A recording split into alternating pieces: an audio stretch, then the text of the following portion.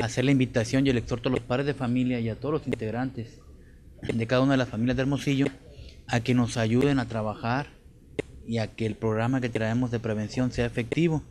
Obviamente nosotros tratamos de estar presentes en todas las familias que así nos lo solicitan, pero la invitación es abierta a todos. ¿eh? Tenemos una obligación como parte del servicio público, pero más allá de eso, como parte de una familia y de una sociedad, la invitación es para que eh, juntos, por medio de la cultura pacífica y del diálogo, construyamos ese entorno eh, familiar y social que estamos buscando. Y así abonar en gran medida a esa nueva mejor generación a la cual está apostando nuestro señor alcalde Alejandro López Caballero.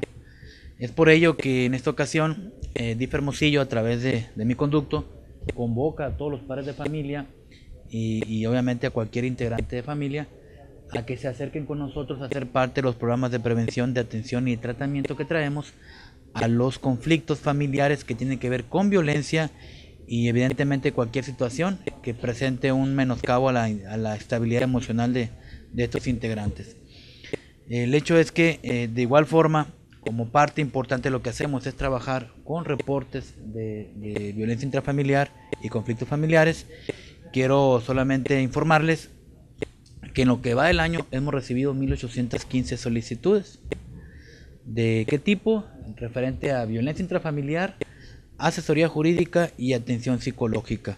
De una manera desglosada, les quiero, les quiero puntualizar que de estas 1815 eh, solicitudes, 877 son denuncias que se han interpuesto de manera anónima y de las cuales pues nosotros nos damos a la tarea de investigar primero mediante el Departamento de Trabajo Social y una vez que corroboramos pues tratamos de ofrecer una alternativa a las personas que están involucradas eh, siempre y cuando esto no sea algo grave. Eh, en relación a eso también les puedo les puedo argumentar que de este de estas denuncias que hemos recibido el 43% están contenidas en el ámbito del polo Miguel Alemán.